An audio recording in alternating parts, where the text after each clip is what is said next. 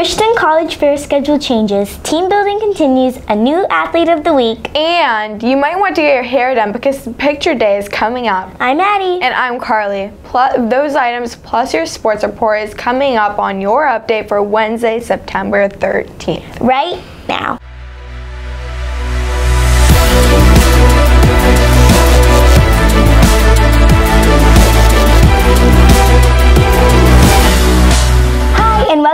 Update sense. The Christian College Fair is today. Juniors and seniors will go from 1.30 to 2.20, and freshmen and sophomores will go from 2.30 to 3.15. Now let's talk about upcoming announcements, such as how yearbook picture day for all grades will be held next Monday the 18th. Yeah, but make sure to come to school in your regular uniform for pictures, and don't worry about PE if you are in 6th through 9th grades.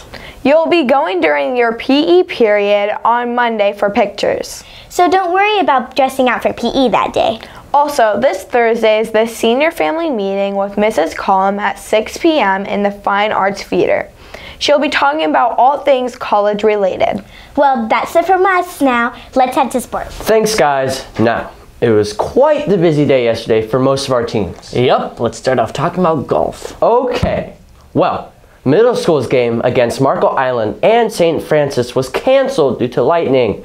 The varsity team's match against CSN was cut short as well, and they were only able to play five holes and lost by 22 strokes. Well, I'm just glad they dodged the lightning. Well, next off is middle school football, who lost to CSN 48 to 24. Well, all I can say is that they look forward to bouncing back next week against Moore Haven. Chase, let's talk about volleyball, since they were the biggest games we've got to talk about. Okay, well, how did they do, Adam?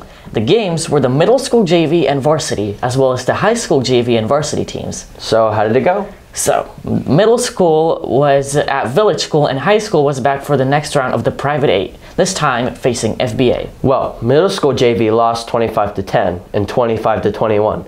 But the middle school varsity team won with the scores of 25 to 21 and 25 to 16. Well, at least one of them won. For high school, JV teams lost in two sets, and varsity team lost in three to FBA. All in all, a pretty rough night for volleyball. Well, all right.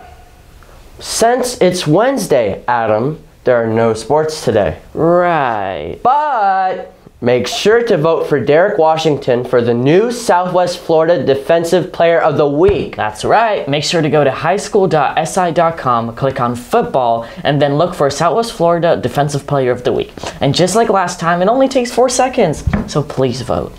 Yup. Remember that this contest goes until Sunday, so please vote every day.